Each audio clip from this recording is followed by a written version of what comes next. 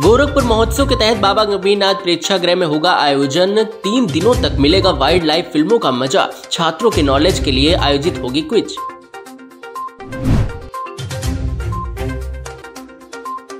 जन्मदिन पर मायावती करेंगी 2024 पर बड़ा फैसला। इंडिया गठबंधन के साथ होंगी या फिर अकेले चलो पर होगा खुलासा। बहनजी ऐप करेंगी लॉन्च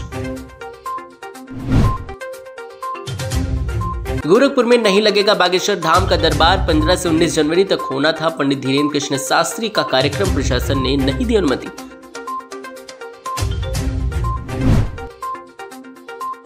रामलला के प्राण प्रतिष्ठा समारोह में रामानंदाचार्य को नहीं मिला आमंत्रण। राम नरेशाचार्य बोले, राम मंदिर पर रामानंद संप्रदाय का प्रथम अधिकार। बिना न्योता नहीं जाएँगे अयोध्या।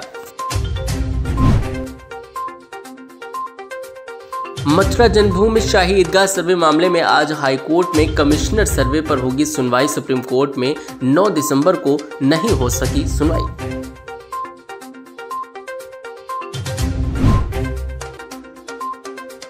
नगर पालिका परिषद बहराइच के कंधों पर सजा स्वच्छता का स्टार डीएम ने नगरवासियों को दी बधाई। अधिकारियों और कर्मचारियों में हर्ष।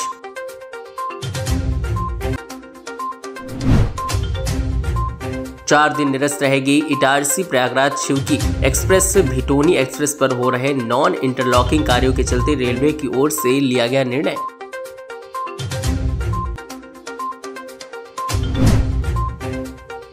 महेंद्रपुर बालाजी से अयोध्या पहुँचे 5000 कम्बल प्राण प्रतिष्ठा समारोह में साधु संतों को वितरित किए जाएँगे।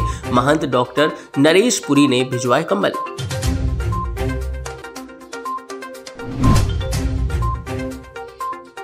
बीबीएयू में छात्रों का हंगामा, कुलपति की गाड़ी रोकी गई। आधे घंटे तक कार में ही बैठे रहे वीसी। रजिस्ट्रार को अंबेडकर की प्रतिमा पर पुष्पांजलि से रोका गया।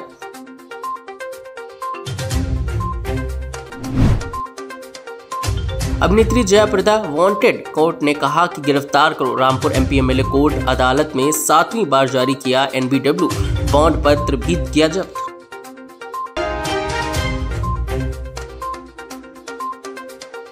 देश विदेश की ताज़ा खबर पाने के लिए हमारे चैनल वी न्यूज़ को सब्सक्राइब करें व बेल आइकॉन दबाना न भूलें।